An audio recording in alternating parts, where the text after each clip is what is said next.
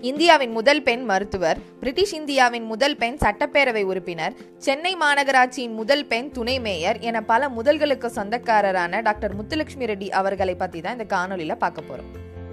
முத்துலட்சுமி ஆயிரத்தி எண்ணூத்தி எண்பத்தி ஆறாம் ஆண்டு ஜூலை முப்பதாம் நாள் புதுக்கோட்டை சமஸ்தானத்தில் நாராயணசாமி சந்திரம்மாள் தம்பதியினருக்கு மூத்த மகளாக பிறந்தார். அடுப்பூதும் பெண்களுக்கு படிப்பதற்கு என்றிருந்த அன்றைய சமூகத்தில் தந்தையின் உதவியோடு திண்ணைப்பள்ளியில் பயின்று பள்ளி படிப்பை முடித்தார். கல்லூரி படிப்பிற்காக புதுக்கோட்டை மகாராஜா கல்லூரியில் விண்ணப்பித்திருந்தார். அதுவரை அந்த கல்லூரியில் ஆண்கள் மட்டுமே படித்திருந்தனர். அந்த கல்லூரியில் ஒரு பெண் படித்தால் அது மற்ற மாணவர்களின் படிப்பு கெட காரணமாக அமையும் என கருதினார் அந்த கல்லூரியின் முதல்வர். ஆனால் முற்போக்கு சிந்தனை கொண்ட மகாராஜா மார்த்தாண்ட பைரவ தொண்டைமான் முத்துலட்சுமி அங்கு படிக்க அனுமதித்ததோடு கல்வி உதவித்தொகையும் வழங்கினார். பின்னர் ஆயிரத்தி தொள்ளாயிரத்தி ஏழாம் ஆண்டு சென்னை மருத்துவக் கல்லூரியில் சேர்ந்த இவர் கல்வியில் சிறந்து விளங்கி பல பதக்கங்களை பெற்றார். கர்னல் ஜிப்போர்டு என்ற அறுவை சிகிச்சை துறை பேராசிரியர் தன்னுடைய வகுப்பில் மாணவிகளை உட்கார அனுமதிப்பதில்லை. ஆனால் அறுவை சிகிச்சை பாடத்தில் முத்துலட்சுமி தங்கப்பதக்கம் பெற்ற பிறகு மனம் மாறிய பேராசிரியர் பெண்களுக்கு உரிய மரியாதை அளிக்கும் வகையில் தனது வகுப்பில் பெண்களும் உட்காரலாம் என்று கூறினார். ஆயிரத்தி தொள்ளாயிரத்தி பனிரெண்டாம் ஆண்டு முத்துலட்சுமி இந்தியாவின் முதல் பெண் மருத்துவராக பட்டம் பெற்ற போது சென்னை மருத்துவக் கல்லூரி வரலாற்றில் இது பொன்னான நாள் என்று எழுதினார் கர்னல் ஜிப்போடு. எழும்பூர் மருத்துவமனையில் முதல் பெண் மருத்துவராக பணியில் சேர்ந்தார் முத்துலட்சுமி. லண்டனில் உள்ள செல்சியா மருத்துவமனையில் தாய்சேய் மருத்துவம் மற்றும் புற்றுநோய் பற்றியும் ஆராய்ச்சி செய்தார். அவர் தனது இருபத்தி எட்டாவது வயதில் மருத்துவம் படித்த பகுத்தறிவாளரான சந்திர ரெட்டியை திருமணம் செய்து கொண்டார். தன்னை சமமாக நடத்த வேண்டும் தனது விருப்பங்களில் தலையிடக்கூடாது என்ற நிபந்தனைகளின் பேரிலேயே திருமணத்துக்கு அவர் ஒப்புக்கொண்டார். ஆயிரத்தி தொள்ளாயிரத்தி இருபத்தி ஆறாம் ஆண்டு பாரிஸிலும் ஆயிரத்தி தொள்ளாயிரத்தி முப்பத்தி மூன்றாம் ஆண்டு சிக்காகோவிலும் நடைபெற்ற சர்வதேச பெண்கள் மாநாடுகளில் இந்திய பிரதிநிதியாக கலந்து கொண்டார். ஆயிரத்தி தொள்ளாயிரத்தி இருபத்தி ஐந்தாம் ஆண்டு சட்டசபை துணைத் தலைவராக போட்டியின்றி தேர்ந்தெடுக்கப்பட்டார். இவர் தனது பதவி காலத்தில் பெண்களின் முன்னேற்றத்துக்காக பல புரட்சிகரமான சட்டங்களை நிறைவேற்ற அரும்பாடுபட்டார்.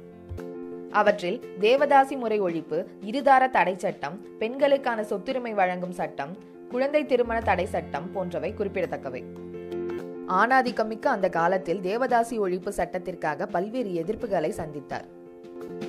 ஆயிரத்தி தொள்ளாயிரத்தி இருபத்தி ஒன்பது பிப்ரவரி இரண்டாம் நாள் தேவதாசி முறை ஒழிப்பிற்கான சட்ட வரைவை அவர் சட்டப்பேரவையில் நிறைவேற்றினார். சுதந்திர போராட்டத்தில் வீரராக விளங்கிய சத்தியமூர்த்தி சீர்திருத்தத்தில் பின்தங்கி இருந்ததால் மற்றவர்களைப் போல் அவரும் இந்த வரைவை கடுமையாக எதிர்த்தார்.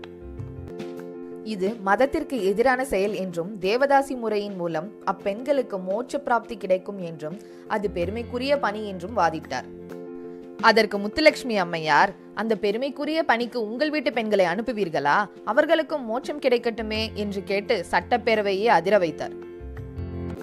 பின்னர் ஆயிரத்தி தொள்ளாயிரத்தி நாற்பத்தி ஏழாம் ஆண்டு ஓமந்தூர் ராமசாமி முதலமைச்சராக இருந்தபோது அந்த சட்டம் அமலுக்கு வந்தது.